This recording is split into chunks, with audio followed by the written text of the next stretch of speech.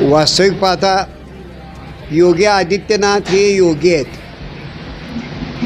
त्यांनी वास्तविक पाहता भक्तीमध्ये लीन व्हायला पाहिजे आणि समाजाला भक्तीचा मार्ग दाखवायला पाहिजे. त्याच्याऐवजी योगी आदित्यनाथ हे समाजा समाजामध्ये भांडण लावायचा प्रयत्न करत आहेत काही समाजाबद्दल तर ते उघडच वैरवाद बोलून दाखवत आहेत मला हे समजत नाही की काँग्रेस पक्ष बऱ्याच वर्ष या भारतामध्ये सत्तेत होता. पण त्यांना असं खालच्या पातळीचं कधी राजकारण कधीच केलं नाही. आदित्यनाथजी आपण रामाचे भक्त आपण कृष्णाचे भक्त. मी तर असं म्हणेन की प्रभू रामचंद्र हे फार नशिबान होते. त्यांच्या नशिबी फक्त एकच रावण होता. पण आमच्या नशिबी पाच पाच रावण आहेत.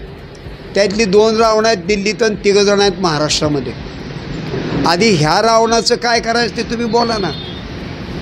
आणि नाही तरी तुम्ही जर रामबाण नाही काढला तर जनता काढणारच आहे. आणि तुम्हाला तुमची जागा दाखवणारच आहे. त्याच्यामुळं आपल्या चॅनलच्या माध्यमातून योगी आगे आदित्यनाथांना मी सांगू इच्छितो की आपण योगी आहात. योगीच्या पद्धतीनं आपण ज्ञानदानाचा कार्यक्रम करावा. समाजामध्ये तेढ लावून भांडणं निर्माण करायचा नसता उद्योग करू नये.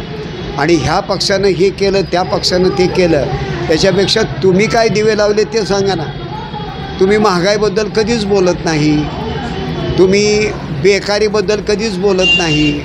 महाराष्ट्रातले उद्योग तुम्ही पंच्याहत्तर टक्के गुजरातमध्ये नेले त्याच्याबद्दल तुम्ही काय बोलत नाही. महाराष्ट्राच्या विकासाबद्दल काय बोलत नाही. त्याच्यानंतर जी प्रचंड तेलवाढ भाववाढ झाली आहे त्याच्याबद्दल तुम्ही काय बोलत नाही? अहो एक जीव जर जी एस टी भरायला द उशीर झाला तर त्याला तुम्ही शंभर रुपये दंड लावताय. म्हणजे खाजगी सावकाराच्या जशा बिशा असतात त्या भरायला जर उशीर झाला की एका दिवसाला शंभर रुपये दंड आहे. त्या पद्धतीचा दंड एक दिवस जर जी एस टी भरायला उशीर झाला तर प्रत्येक दिवशी शंभर रुपये दंड आहे. औरंगजेबानं सुद्धा हे कधी धाडस केलं नव्हतं. आणि आता भाजप सरकार खरं तर एका दृष्टीवर गांभीर्यानं विचार करतं आहे की आता आम्ही एवढे सगळे टॅक्स बसवले.